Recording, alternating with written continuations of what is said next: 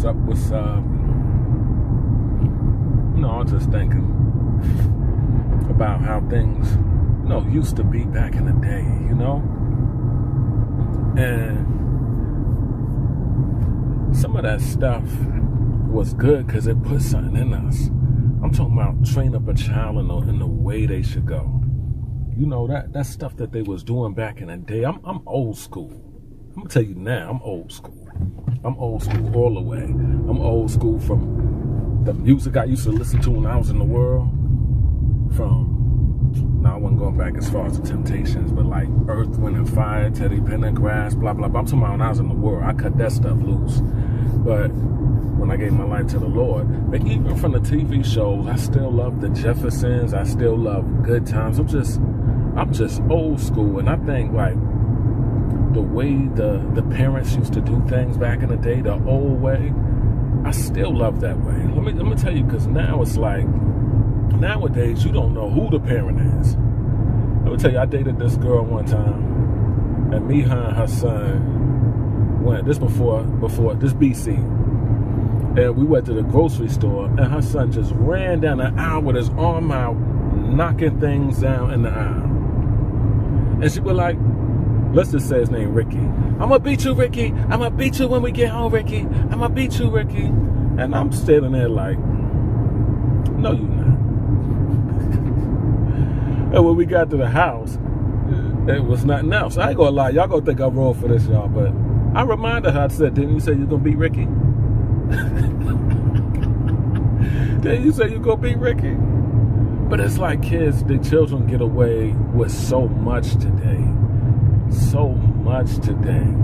Like, I feel like when adults are talking, like, children should be children and, and go play.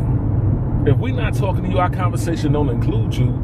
No need for you to be in our face. Go, go play. Let me tell you, when my mother used to be talking to adults, and we we tried to sit there and listen, and talking about me and my sister, she like, y'all go play and she trained us and embed that in us that that we got to the point where when she was talking to adults, we we knew to go play. You couldn't just jump in in, in, in conversations with adults. What?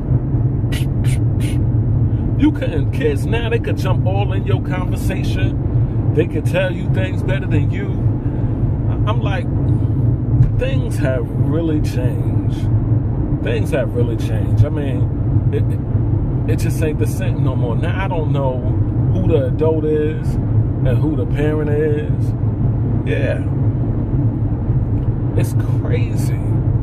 But no, but not everybody though. Some people got that. Let me tell you something. And it's not all about beating and it's not all about punishing. Let me tell you though, something. There are some parents out there who don't beat their children, who just say do this, and they do it. They say do that, and they do it and and they know not they also know not to jump in their conversations.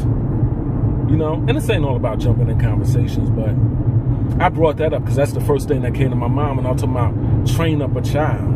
Because you're training them whether good or bad. You you you training your kids.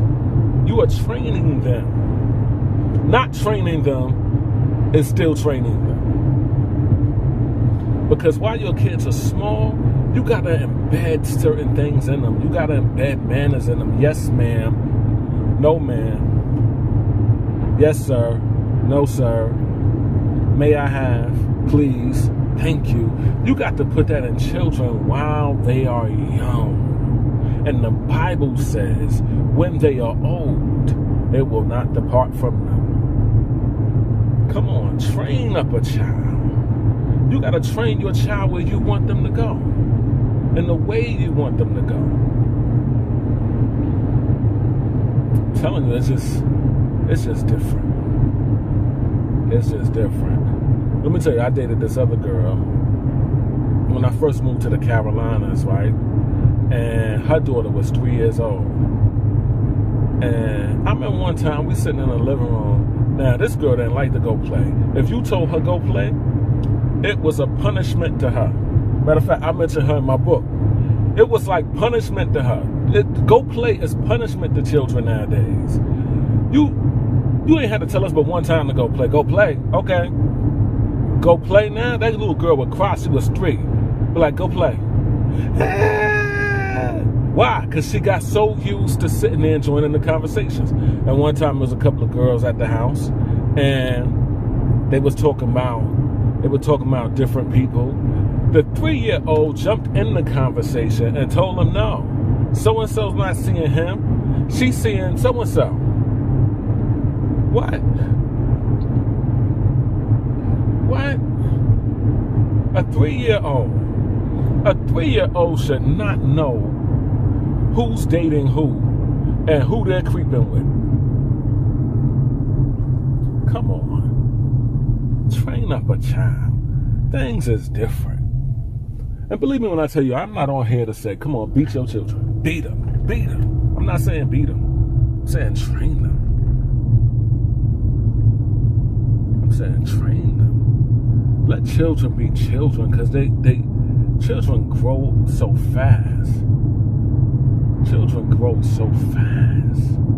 Let them be children while they're children. And don't allow, another thing, teach your children to have respect for adults. So they could differentiate the difference between an adult and a child.